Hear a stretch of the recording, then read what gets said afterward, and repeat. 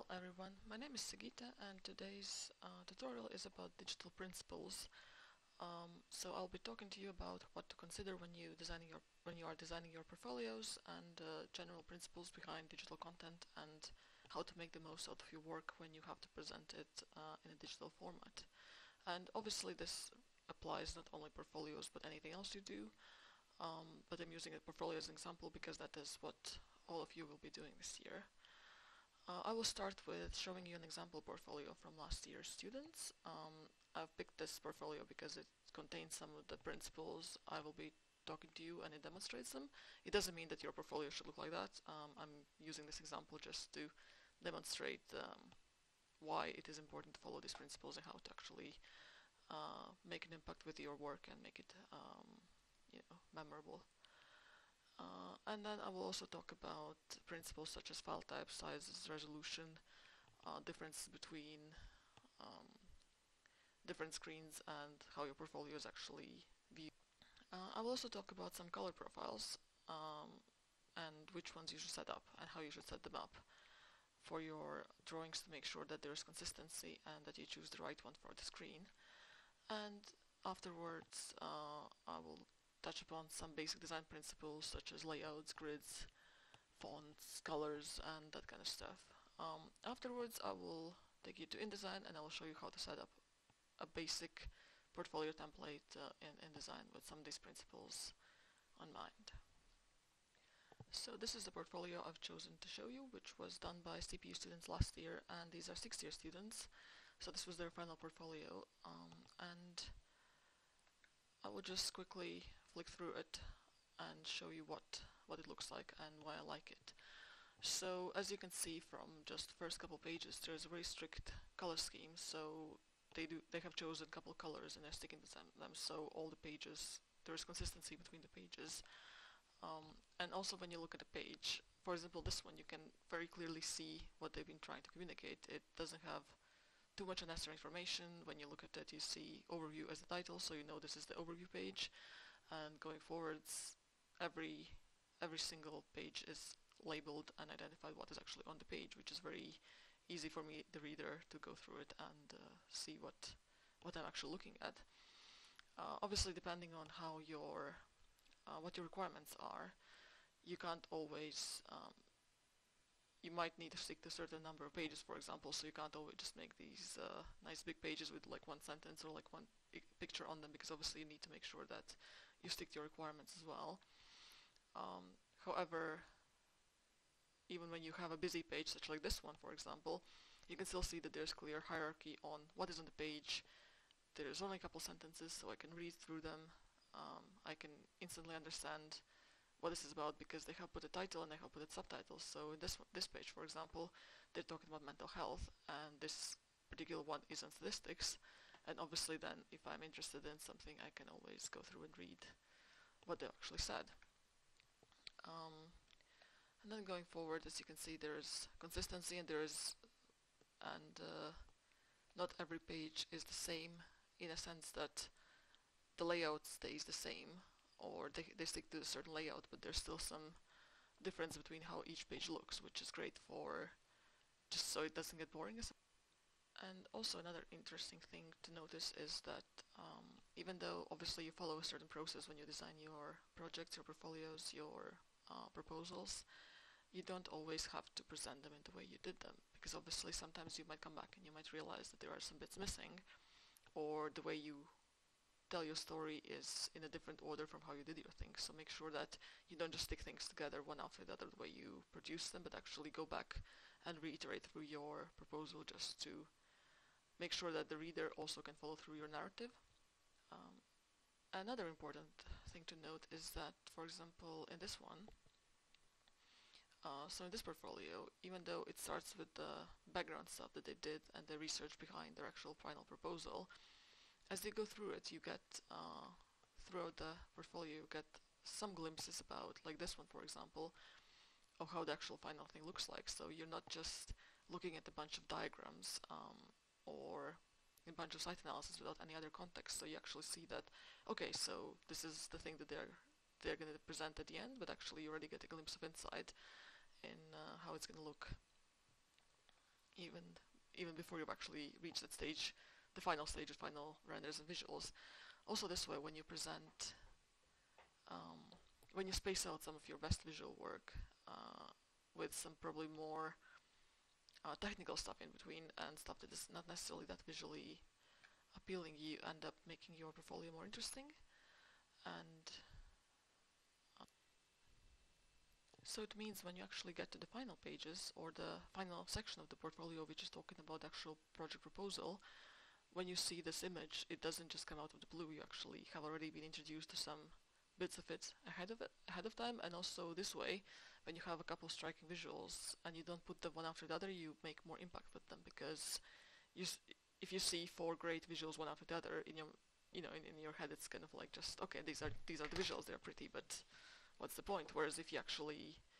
uh, space them out with some consideration for how it is all laid out and when people see what you can actually control the narrative of your portfolio um, and that is that's obviously very important another thing that they have done is made some interactive content in their portfolios which I know not everybody is allowed to do and not everybody is asked to do, but if you do have interactive elements, like they have a video, you actually want to make it noticeable in your portfolio. So here it clearly says click to view the video, and there's a play button. So when I hit, uh, when I click it, it will take me to, I believe, an external link, uh, something on, for example, this one. It's on, uh, it's on Google Drive, and obviously it will open up video, and then I can actually go through um, the content and I can always return back to the original portfolio file. Uh, you can also embed uh, videos and interactive content straight into InDesign, but sometimes because of the file resolution, uh, file, sorry, file size, uh, it's not always possible because it will just take your portfolio over your limits. However, by doing it this way, you can link stuff if it's important to external stuff. However, you should always check whether that is allowed and encouraged because different courses might have slightly different requirements and opinions on this. Um, and just to finish off, I will go out um, from full screen mode and I'll show you how when you look at the pages, an overview of all the pages, you can see that when you look at them that it's clear that this has been done, every page has been done by the same person or in this case by the same group of people because there's consistency in color, there's consistency in layout. However, not every page looks the same, which is a very important point I'm trying to make there is, even though the layout is the same, they have consistency in where the text goes, or where the page numbers go, or section numbers go on each page. You can see that on some pages there is more there is more text, in some pages there's more diagrams, in some pages there are some full-size images, there's some pages with more complex detailed images, and obviously that makes the portfolio interesting, and to me, the reader, it makes it more, um, it, it it makes it easier for me to go through it and makes it easier for me to read, which is obviously great for when this is the way your, your portfolio is what is actually presenting and selling your work to us, uh, your tutors as well as uh, when you go out looking for a job uh, and just when you showcase your work as such. And now, having gone through that uh, example portfolio, I will go through some of the digital principles I mentioned before and talk about them in more detail. Uh, so obviously the first one to consider always when you're making a portfolio or anything else, you should consider your audience in a sense that who is looking at it, how much time they have, and how are they looking at your portfolio. For example, whether you're whether you're submitting a print version of a portfolio or if you're submitting on screen, which somebody might potentially view on a very small laptop screen, there is difference in, for example, font size or how big your images are or how many things you just put on a page. Uh, and obviously there is difference in file sizes and resolution which uh, comes from these considerations. But you should just always be mindful of how, just try and imagine how the person looking at it will, will take it and how they will view it. Um, and obviously this year most of our, well all of our submissions are going to be online, so there is, uh, you can make, make use of it and make your sheet size the same as, for example, a screen size, so you don't waste some space around it just by doing it as an A3 or A4, unless you're obviously asked to do it that way. Uh, so for example, standard screen size would be, um, like a high definition screen would be 1920 by 1280 pixels, so why don't make your uh, pages, for example, that size, making sure that you make, space, make most of every pixel you have available to you. And obviously another thing to remember is how long will actually your the viewer have to look at your particular portfolio. Um, because it can be that you have done a lot of work, but you need to make sure that every page you do communicates exactly what you're trying to say. You can do this by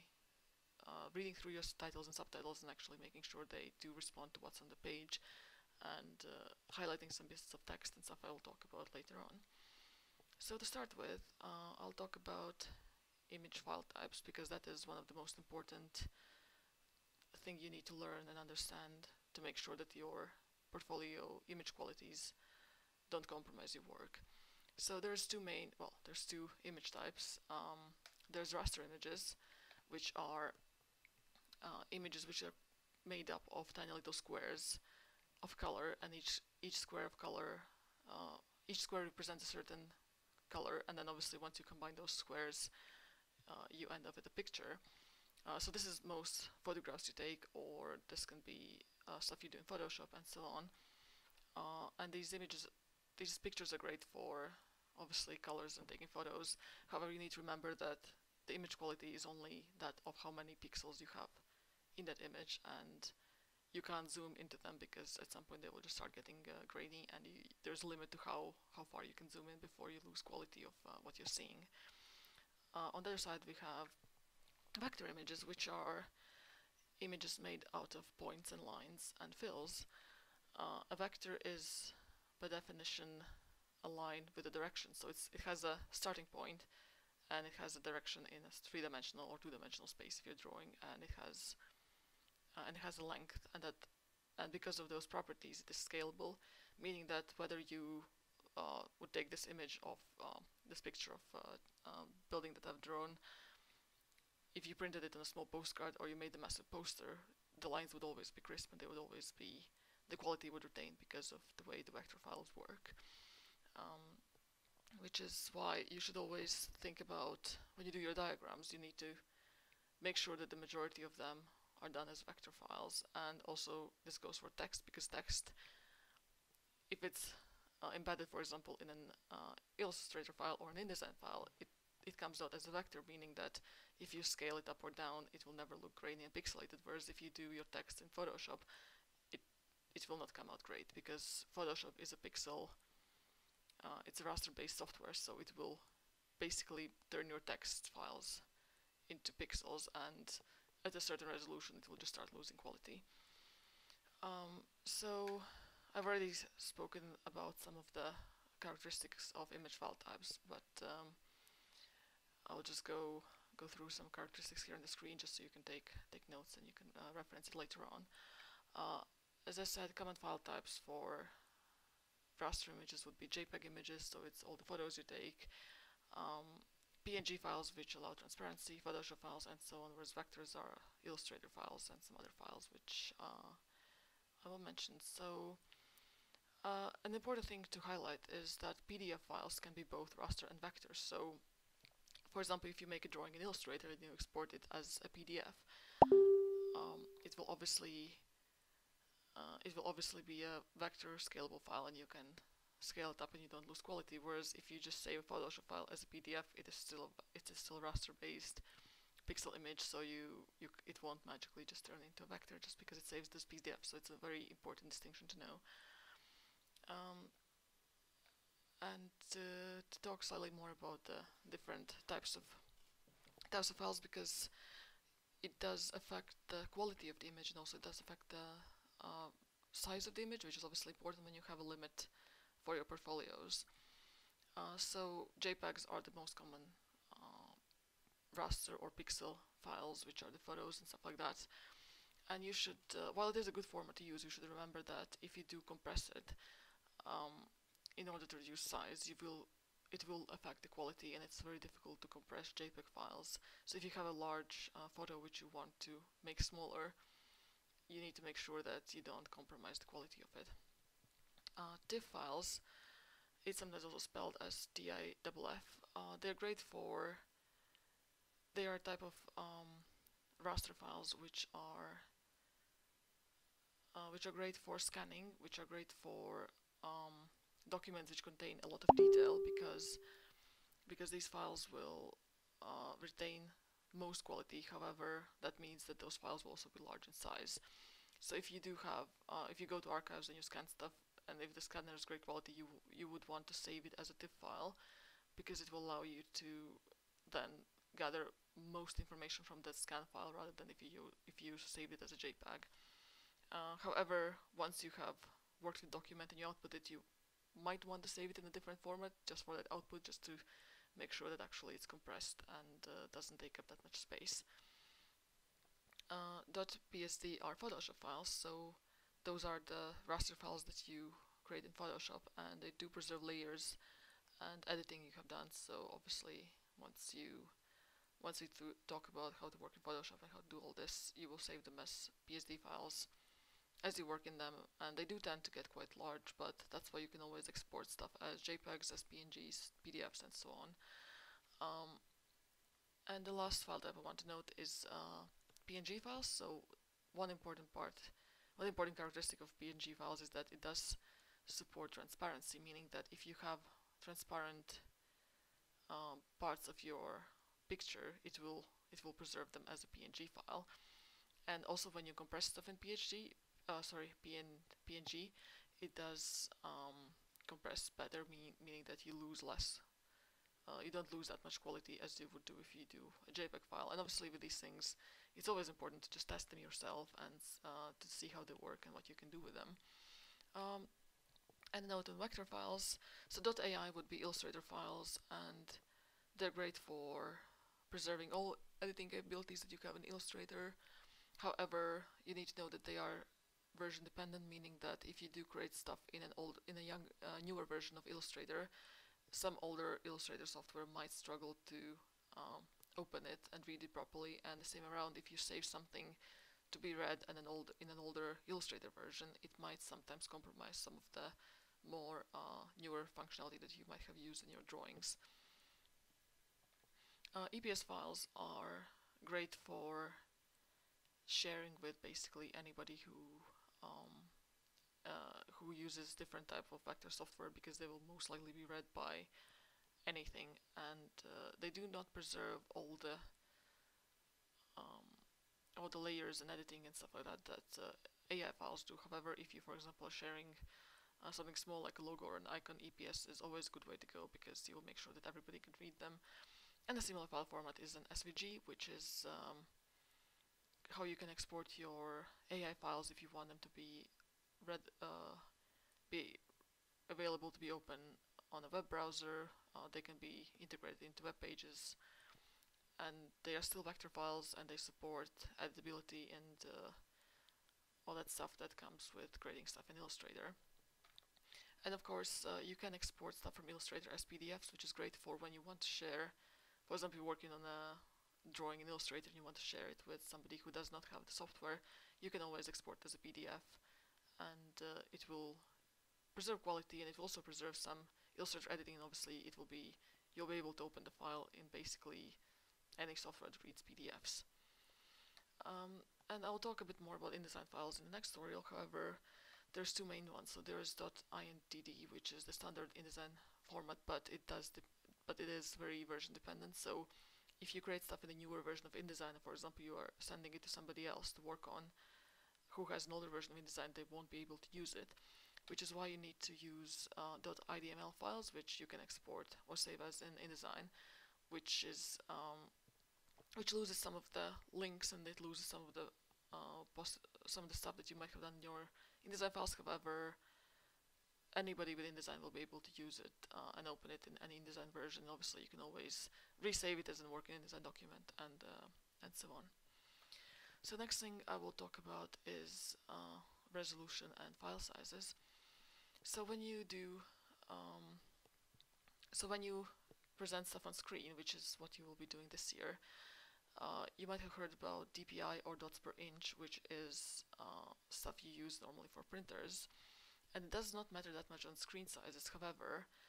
uh, what you do want to consider for screens, it is the entire number of pixels you have in your image. So for example, as I said, this only applies to um, raster graphics, which actually do contain pixels, because for vectors you can scale them indefinitely and Uh, it's just more about how much you put on the page before it becomes unreadable. It's just too big for the page. Whereas for um, for raster images, you want to consider the image size in terms of how many pixels it has because the screens, while screens do have pixel uh, DPI resolution, what matters is the total number of pixels the your screen or display is capable of presenting. So if you're so if you, for example, want to do for a full-size image um, to be viewed on a on a 1920 pixel wide screen, which is uh, one of the standard sizes, you want to make sure that your image is set to at least that, well, actually precisely to that pixel uh, width. And on the other hand, there is no, there's really no um, need to make it much larger because your screen is just, your screen won't be able to uh, show the difference between the 1920 and let's say 3000 pixels wide because the screen will only use the pixels it has available to it. And obviously compression does matter, so even if you do have a raster file, the way you save it and the way you set your settings can affect the overall quality of how the image looks at the end. Uh, and just to reiterate, uh, which is why I would suggest using vector graphics wherever it's possible, so for diagrams, for any text you have, do not edit on Photoshop, edit on InDesign or Illustrator. And same goes for, uh, so yeah, CAD drawings also can be exported as vector files, which you can then uh, obviously display in uh, your portfolios uh, or use them in InDesign and Illustrator to um, edit and so on. And obviously, you should always test your outputs. If you save something, make sure you check it on your screen. You can always ask your friends to test it on their screens and like see how it looks to make sure you, nothing is pixelated, everything is crisp and clear, and you do not compromise your own work just by accidentally making it too small for, for the screen and so on. Um, whereas for print files, DPI, which is uh, dots per inch, uh, which measures how many pixels a printer can print on in one inch of uh, paper space. So, and one inch is 2.54 centimeters. It just um, most printers will use uh, per inch rather than per millimeter or per centimeter. Uh, and here it is important to remember that you, you want to make sure that your document matches the resolution of the printer. So if your printer only prints at 150 dots per inch, you really, there's no need to make documents which are much uh, more pixel dense because the printer just won't be able to uh, make that resolution anyway, so there's no need to waste space on your on your computer and your, on your files. Only because um, you want to set it on high resolution. Always make sure these things uh, these things match, and you use common sense. to Just develop your uh, portfolios and drawings. So just uh, a note on different screen sizes and resolutions. So as we can see here, uh, this is a comparison of different types of screen uh, you might you might have and you might use um, you might use for your work or your tutors might use for grading your work. So for example, here we have um, so where is it? Uh, so yeah, the high definition screen. So it's 1920 by um, 1080, which is one of the most standard sizes. And you can always test your laptop and see what the screen resolution is on that or your computer. Um, and for example, the one I'm using at the moment is uh, is this format is 250, uh, 2560 by, well, it's actually by, oh no, it's this one by 1440. Uh, and the highest resolution you can probably get is a 4K screen, which would be a massive TV, which would have, uh, which would be 4096 pixels wide. Uh, obviously, there are screens which are bigger than that, but uh, just to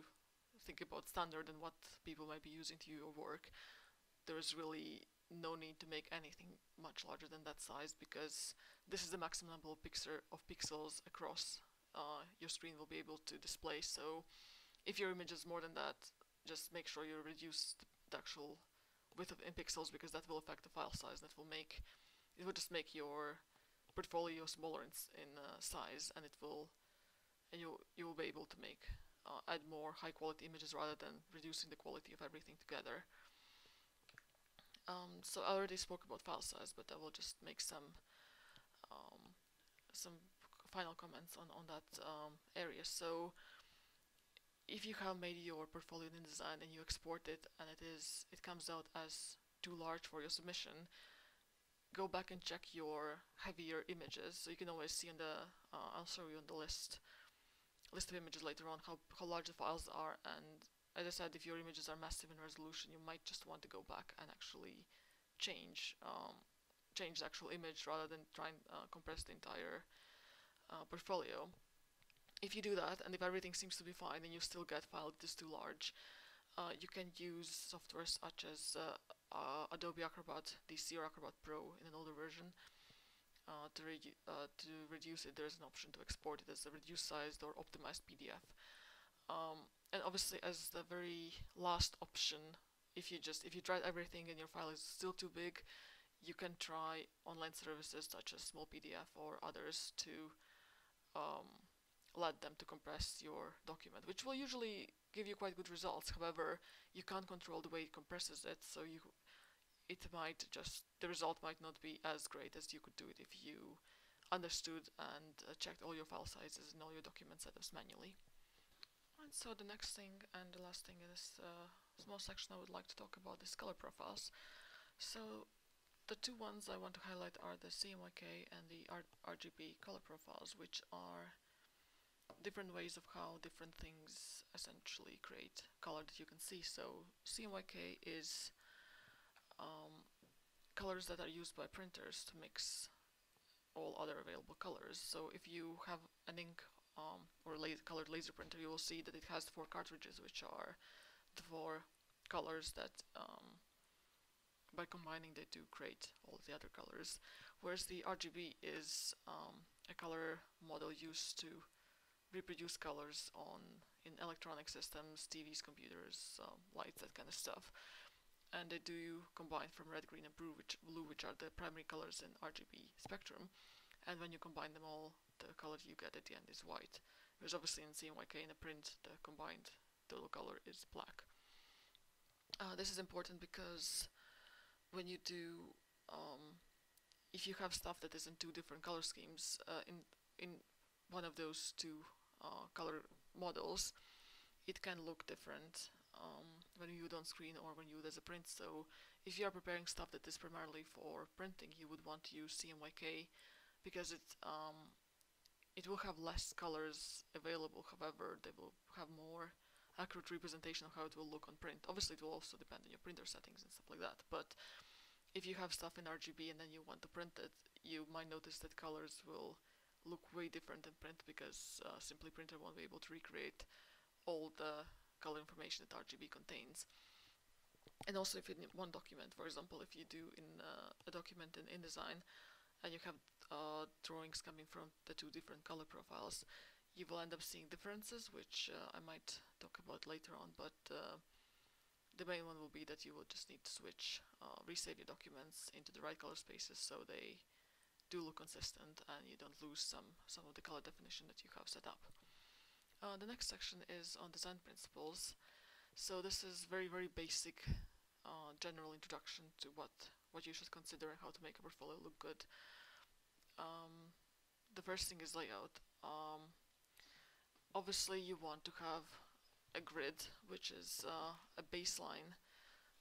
um, setup of your pages where you can where you can then make sure that all your text, all your images, all that stuff is aligned and it does follow some sort of uh, 3 by 4 or like a columns uh, setup or just a full page thing and you have your margins and gaps and everything set up so everything is always consistent which is what makes uh, the final the final um, document look nice and refined and crisp. And also what you consider in your layout is your narrative and your story and how does it fit in the whole thing and how you actually see it. And then when you open the page what is the thing that you're drawn to? Because that will be what your reader sees first and what they essentially judge first. Um, so if it is if it is something important that you're trying to convey with, with your drawing make sure it's highlighted it's big it's visible and you do not bury it under other stuff which is probably less relevant and might actually not need to be on that particular page um, and double check your titles because if somebody is looking at your portfolio for the first for the first time and they're not familiar with your work, um, we want to make sure that your title and your subtitle responds to exactly what is on the page. So if my page is about um, some background data, just call it background data and do not try to be too um, vague with your how you name your pages and your subtitles because that helps the reader to build up the narrative and follow through and actually see what you're talking about and how it all um, adds together to the final final final stuff in your portfolios. And of course always check whether the page layout you have chosen looks good and is readable on screen. So if you have vertical pages make sure there's a reason why you have them vertically or just change them to horizontal pages at the same time you can for some um, for some types of publications, some people do export them as spreads. However, again, you need to make sure that even if it's a spread of two pages and it might look nice altogether, is it still readable if you open it on a small laptop screen so that the person who is reading it doesn't need to zoom in and out all the time because that just gets uh, inconvenient and it might affect how it is viewed. And of course, uh, another very important thing to remember is the white space. So you don't always need to crowd your pages with everything everything you've done and everything you want to put on there and sometimes it's good to take, st take a step back and look at how if you want to emphasize something on your page maybe it's good to leave some space around it and the same goes for your not just your pages but also your drawings and uh, utilizing white spaces and having some constraint when it comes to how you lay out your pages is actually quite a quite a quite an important thing to to learn and to do. Uh, leave some sort of like breathing space for your space if you if you must to uh, so the reader can actually absorb the important thing on it and it's not just overcrowded with all kinds of things. And it also comes not just the white space around one image but also for example space between diagrams. If you pile them together too closely together um, you might want to come sort of like take a step back look at it and make them all smaller so there's more space between them so that your eyes can actually follow each single thing and all that just doesn't just turn into like one big one big blur. Um, another thing that I think already highlighted when I was going through um, the student's portfolio from last year uh, consistency is important. However you don't want to repeat every single page to look exactly the same as the previous one. So if you do have a page which has um, let's say like a large title or like um, an image and then a large description, you want to make sure that not every single page after that is the same layout. So you want to uh, you want to sort of like choose between pages which are more text heavy and more image heavy and large images versus small images, diagrams versus uh, two-dimensional stuff versus three-dimensional stuff, uh, diagrams versus renders, um, and again text and no text. Because it's if you look at this for example layout example I've just pulled up here it's you can obviously see that there's consistency in proportions how the pages are laid out. However there's still options within those proportions and constraints to make it interesting and make sure that if you do have a nice large image which you want to display in the page you leave it enough space around it you make sure it is the focal point. Whereas if you have a series of diagrams somewhere you use a different layout where you can actually display that particular uh, concept. And uh, remembering about I think I said at the beginning about the narrative of your portfolio. So does it actually does it tell the story? So if you go back and look through the pages does the the way you have constructed the narrative throughout the portfolio for somebody who has never seen it will they be able to understand and follow through what you're talking about and what what is it you are presenting there um, and just to reiterate that obviously you don't need to present stuff in the order that you did it unless you have been specifically asked to do it. You should take everything you have produced, look at it, and see actually in what particular order it would be. It would be best um, representative of what you have done, and which is also why you probably shouldn't put all your best images at the end of portfolio because you might you might want to start with well you actually should probably start with a strong visual, and then you have some background stuff, then you have a strong visual again so that it's uh, engaging for the reader and so that I don't need to wait for 100 pages until I get to the final page to actually see what how your design looks like. You, you want to make sure that you, you kind of um, follow that and when you're looking at it it's interesting all the way through and you give gl glimpses of stuff that's to come. Um, like you know when you, when you watch a film you want to you don't just uh, see the, the main character at the end you actually stuff gets introduced throughout the film and you know it builds a story altogether which is kind of like how you can think about your portfolio um, and also uh, importantly, what I said about the white space and the layout, give readers some space to breathe and give them a break. So if you do have a page which contains a massive diagram with loads of uh, different things going on, then maybe the next page shouldn't be another diagram of, of the same sort unless they relate to one another. You may, might want to put in a page that is slightly less heavy uh, in terms of information that's in there, so the reader can um,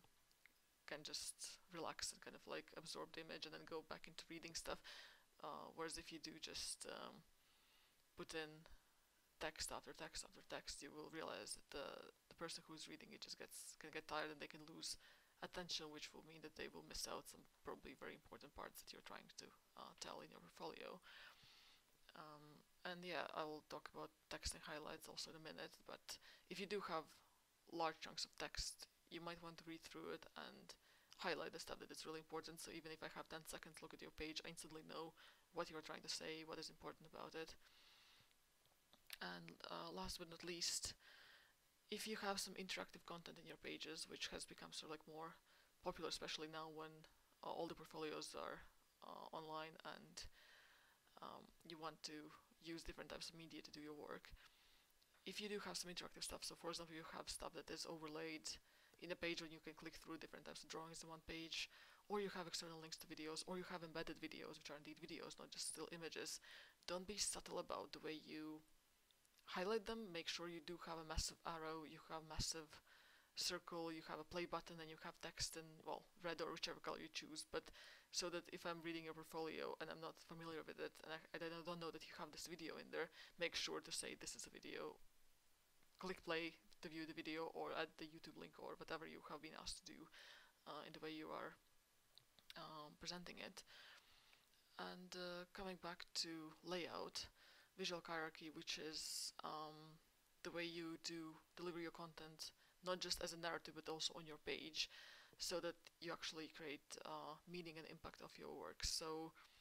this is a very uh, interesting concept to look up, and there's loads of stuff online. I might post some uh, useful links down as well. But basically, what it uh, what it entails is that you should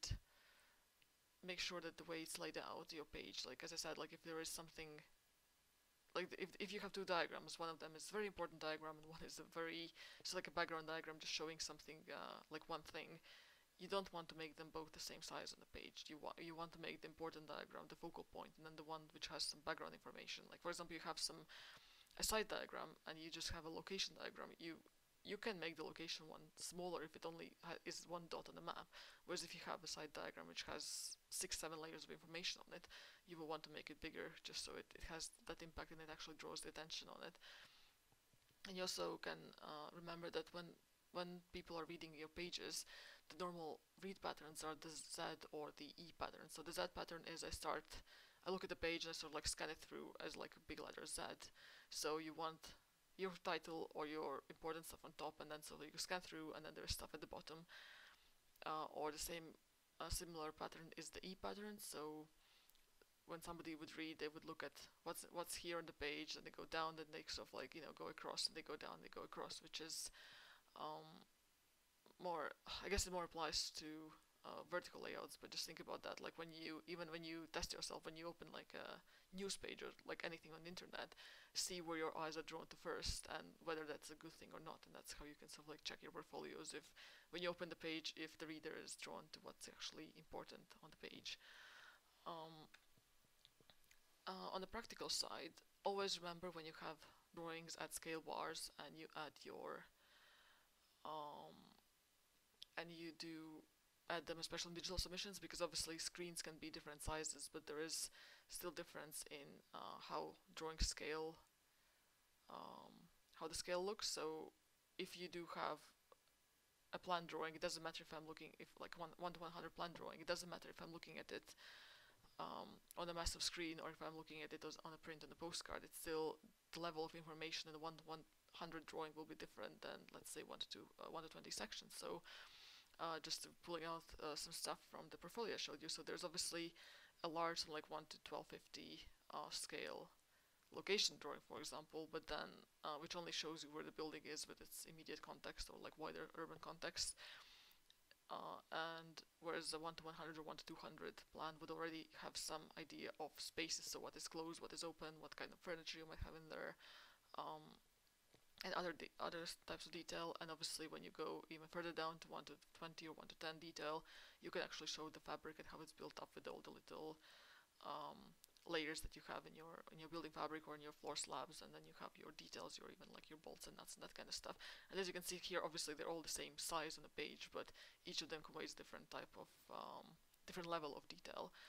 and you shouldn't lose that just because your submission is digital you still need to think about your scale as the level of representation of what you're actually doing. Um, yeah that's, that was from the portfolio I showed you earlier. Uh, and now a note on fonts. So you can it's it's a topic that obviously it's, it's a subject on its own, but just to kind of give you some um, idea of how to think about it is when you're reading something, if you if you have a highlight or or a title of your page, which is a couple of words, you can be bold and you you want to draw attention to it. In most cases, so that's uh, when you choose bold fonts,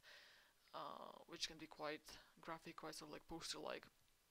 because that's only a couple of words people read and you want to make the in impact whereas if you are writing uh, larger paragraphs of text you might want to choose a font that's actually readable um, and there's obviously I'm, I'm not going to tell you what fonts to use and what fonts not to use but just think about it like when you when you're looking at a page or you're reading a book like what, how what makes it readable is you know the way the font is laid out the gaps between uh, between the lines line spacing and that kind of stuff. And also uh, for example here in this particular font it's a serif font. So you will see uh, if you go for if you go looking for fonts online you will see there's usually serifs and uh, serif or sans serif um, fonts. So serif is base serifs are those little um, you know, like little bits added to letters which when you read like you can see there's for example letter R has like a little leg and then like um, letters uh, like D and B and L have those sort of like little I don't know like elements to them little uh, like legs or something. Um, and what it does, it basically when you read text, especially when it's larger, uh, if you read a newspaper, a book or something, you will usually have serif fonts because it allows the reader to um, visually pull the words better together and it actually allows you to read text more efficiently. Um, I'm not saying that all text has to be in uh, in serif fonts. There's loads of sans serif fonts which are great. Like I know Helvetica, for example, is not a serif font, but it's very commonly used and it is very readable. Again, I'm not saying you should use Helvetica, it's just an example. Uh, whereas obviously this font, this font, I think it's called Impact. It's um, it's large, bold font, and it's it's nice for title because you know it, it, it leaves an impression. However, imagine if I had a whole book written in this font, it would be borderline impossible to read it. I would get tired very quickly. Um, and just as a as a general rule of thumb, I would suggest to not overdo it with fonts. Like less is more, and if you have one, one, one type of font for your titles and the other one for your text or your annotations, that's that's plenty. And you can always stick to the same one uh, typeface. So for example, the one I'm using here in this presentation, um, it's the same font, but it has uh, options in typefaces, which are bold, regular, thin, medium, and there's probably light and extra light, and then there's um, light italic and that kind of stuff. So you can you can just go through these and uh, see if maybe that's how you add highlights, so you change uh, what what type of text you do and what um, how you do particular text in particular font. Um, and obviously you can always change them as well. Like it's uh, especially when I show you how to set things up in in uh, InDesign. If you set your character and paragraph styles properly, it is very easy to change them if you are not happy with how it's all represented. But um, and at the end of the day, the main thing is be consistent. Whichever font you use, make sure it's the same size, it's the same uh, typeface, and it is the same um, it's it, it's all consistent throughout your submissions just so it's uh, just so it looks neat and finished and uh, refined and the thing I mentioned before about fonts is that you should highlight your uh, keywords, especially when you have large chunks, chunks of text. So for example, here is a news article from the school's website, and obviously if you have something like this in your portfolio, it it is very likely that the person reading it will not read it uh, all because they just might not have time to read. Like I'm not saying that um, nobody's going to read it, but what I'm saying is that if there's a large piece of text, it's much easier to get the understanding of what's in the text if you if you highlight the stuff you're actually the important stuff in the text. So, for example, this one, which is about um, the school's ranking in the global ranks. If if I had this in my portfolio, for example, um, I would want to highlight the the key points that uh, that have been mentioned. For example, there's top 10, it's ranked 8th in the world and second in the UK. Um, there's stuff about helping prospective students, uh, highest academic and research standards, high employability levels, staff excellence, um, and all this other stuff. And even if I haven't read the entire text, I've only read what's in the highlights, I can most likely get the general idea of what's in the text, and th- that's a good good thing to use throughout your portfolios as well, because that will allow you to um, it will allow you to communicate larger pieces of text easily with wider audiences who might not always want to read it, but they'll probably look at the highlights, and, and that's how you that's how you communicate that. Um, and last last thing on color schemes. So it's really important that your work is you you show some constraints in how you do your drawings and your diagrams, and having color scheme is one of the ways you can do it. As I showed in the portfolio at the beginning. Um, which had this sort of like blue and pink or magenta colors. And even though it has different types of drawings and different types of diagrams and stuff, it is very, it, it always sticks to the same exact colors, which ends up being, firstly, it, it just looks it just looks good because it all looks like a refined finished piece of work even not even if some of the diagrams are not the best diagrams out there as a whole as a portfolio it looks refined and also it identifies uh, to me it sticks in my memory as like, oh yeah, that was in that particular portfolio because it's not all over the place in terms of colors. I can I can look at the page and I will be like, okay, yeah, these guys did it because because it's um, it's consistent and it, it, it kind of gives it your your own branding, your own personality, and the same with the the fonts you choose and the other elements of design you might choose. It's it's really to make sure that it's it's about your own yourself and your project as a brand. Um, imagine when you're going through some um, some websites of stuff being sold. Like I know, like uh, like let's say clothing brand, you will always see that there is you know consistency again in like fonts and there's uh, colors and stuff they use in the website, and it's it's basically the same idea behind your portfolio that you have that you have your consistency and you have your branding and it, it makes people remember exactly you and your portfolio um, and if you struggle to find a color scheme that you like obviously again as I said you can you can always change them but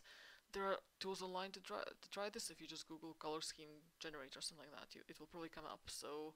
I put um, a link in there for for one of those. Um, and it, or if you go on Pantone, for example, which is uh, which designs so they said the color of the year kind of thing. They do offer color schemes as well. So for example, here this is one I just uh, copied from the website. Uh, the classic blue was the color of the year, I believe, this year. And obviously, with this color, they have created the colors that they think go together. And um, as general rule of thumb, I would say stick to a maximum of three colors for the entire portfolio. As I showed you in, in the example at the beginning, there was um, two main colors, and it was complemented with black, which is, by the way, also a color. Um, and instead of adding more colors, you can always experiment with line weights and line types and fills versus voids and negative spaces and that kind of stuff. And to finish off this presentation, remember that rules can be broken. It doesn't always, you don't always need to follow the stuff I've said you. The stuff I've said here is the very general basic introduction of some principles, but it is always, it's, it's your portfolio, it's your work. You, you, you need to take ownership of that, and you can always, if you think something looks better, even though it goes exactly against what I've said, just do it, go for it um, yeah, follow your instincts. And obviously, I would not normally recommend this kind of a font in your portfolio, but if you think that's what sells your work best, if you think it goes with your with your theme, just just be bold and go with it. And uh, last but not least, check what you've been asked to do because this presentation was done for the entire school as a general general introduction to where to start and if you are not sure about something, always check with your own tutors or your year leads and make sure that um, that actually what you have asked uh, asked to do is not sort of like contradictory of what I've told you to do, and make sure you follow what's exactly uh, fitting to your course. And as I said, if you disagree with something I've said, feel free to do it. Feel free to do it your way. This presentation was as an introduction to people who might not know where to start, and hopefully you it helps you to do better portfolios. So thank you, and if you have any questions, you can always uh, message me, email me, and so on. And